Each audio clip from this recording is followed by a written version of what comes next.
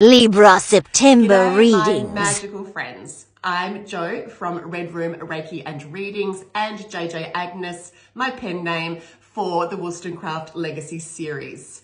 Enjoy your monthly reading. Hello Libra and welcome to your reading for September. I'm using my Oracle cards today I think that might do, I think. Oh, there's a little bit of touchy touchy energy coming in on yours, unfortunately. So we're using my oracle cards. So each card has a character from my book series. So by looking at this, I kind of go, mm, okay, let's see where this is going, girlfriend. so now the first one, you've got mirror. So uh, we've got, you don't have forever to achieve your goals. Live now. Keep adding dreams. Fully embrace what mortality gives you. Life is a gift. Appreciate it. So you can see here, you know, there's this gift of life and her taking the ibis and starting to fly. The next one we have here is run when you can which is really interesting. Um, I had this before actually. So run when you can. You can see that she's sitting near the water and she's in a cage. So there's some sort of entrapment around you or maybe a situation you don't want to purely be in and it might be time for you to get out of there. So we've got here, run when you can. When you feel uncomfortable, leave. When you get that creepy feeling, leave. When your body feels unsafe, leave. Never allow your politeness to stop your instinct to escape. You have a natural ability to detect danger and to protect yourself. So you first, your instinct first, your gut feeling first, your intuition first. If it doesn't feel right, it's not right. I just wish we could teach this to everybody when they were young. So this is the card here once again. And the third one is your soulmate. Love is in the air. And I know Librans, oh, don't you just love love? Particularly you girls. Oh, you're so romantic and just, I mean, I'm only stirring you up because I'm a Scorpio.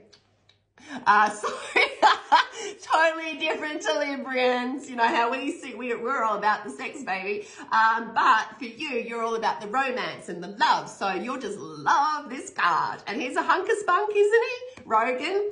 So love is in the air.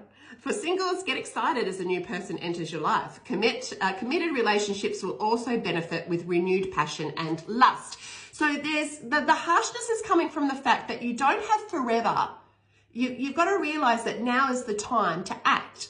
And also you might be in a situation where you feel you can't act or that you're stuck and there's some sort of entrapment, but there's a possibility of great love. So, um, you know, I'm going to pick two out of this just to see. Yep. Yeah, both here are interesting. You've got the obstacles here. So the obstacle uh, rune here, there's things that need to be looked at. You need to have a good look at your life. What are you not saying to yourself? Are you living an illusion a little bit? Um, writing down what you really want in a practical manner, comparing it to maybe the fluffiness of your life at present may not match. Um, so your ideal life may be somewhat quite different to what your reality looks like at this moment. And we want to make your ideal life be the reality. And that means that you may need to leave situations, leave people, leave thought patterns, leave behavioral patterns, belief systems behind for this potential of great love that's going to come into your life, a soulmate energy. Um, and you are well protected, but it also suggests that you need to be protected, or maybe you're feeling a little bit frightened at the moment. Maybe you're scared about where the world's going or where you're going. Um, but we just want you to relax a little bit. So I do feel like quite heavy for you in September, a little bit of soul diving, deep dive into who you are as a person. Stop worrying about everybody else. The best way to manifest is to know ourselves really, really well and to actually really want what we want and what's going to be good for us. And I feel like this is going to be necessary for you, Libra. Um, you've got some real soul searching to do um, before you can really start to move forwards. And here you've got Marcus Obsession. Um, stop you are too focused on one vision, one thought, one person, one place, one idea, and it's making you unstable in all areas of your life. Seek help, counseling, or recognize patterns that cause this preoccupation. So it's coming in exactly as I felt it. So just so you know, I'm not bullshitting. Um, here you go.